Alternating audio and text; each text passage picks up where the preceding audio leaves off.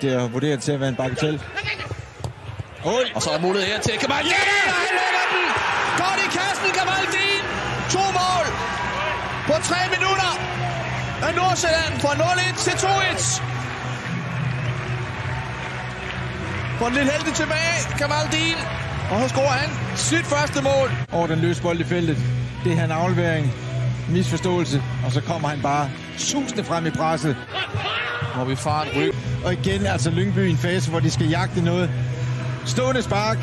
Tager lige sigtet. Kigger op. Ned på bolden. Og så ved han præcis, hvor den skal sidde. Og det ved...